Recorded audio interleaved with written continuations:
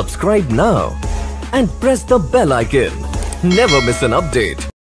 Hi friends, I would like to share the recipe of little millet and sabudana upavas idli today in which there is no rice.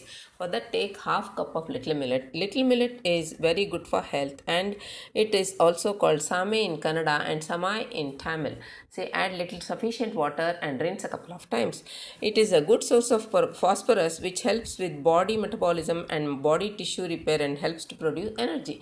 So wash it a couple of times, dry it, uh, I mean just spread it on a cloth well, cover it with the other layer and um, dry it for 2 hours. See after 2 hours it looks like this. Okay, it's properly dried. Now transfer it to a blender bowl.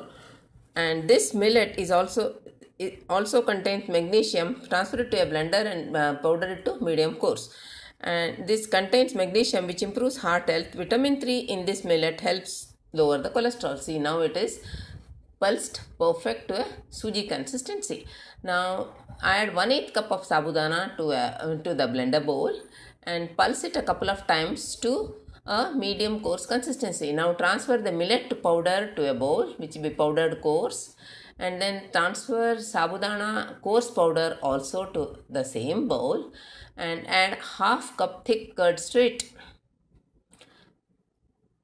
Add rock salt, the upwas salt, Saindu namak and then mix till combined well.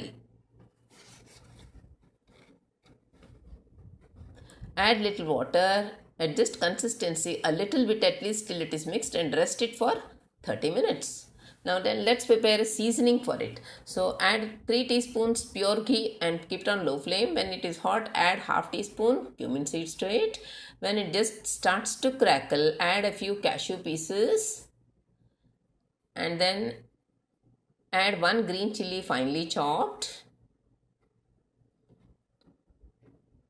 And one third teaspoon ginger grated.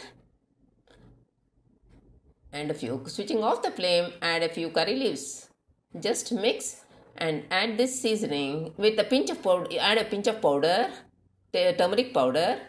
And add this seasoning mixing it well in the spatula itself. Now add this seasoning to the bowl add 2 teaspoons of grated coconut.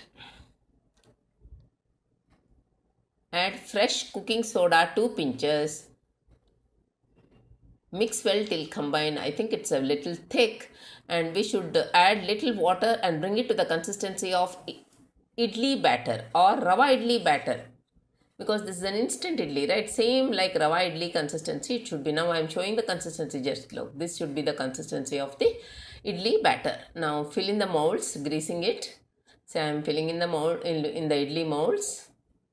Now place it in the hot steamer and close the lid and cook for steam for 15 minutes 12 to 15 minutes because the, this uh, millet takes a little time to steam now see ready yummy sabudana idli is ready and so soft it is relish it with chutney and subscribe to my channel for new recipes. And in this measurement it yields 8 idlis and bye for now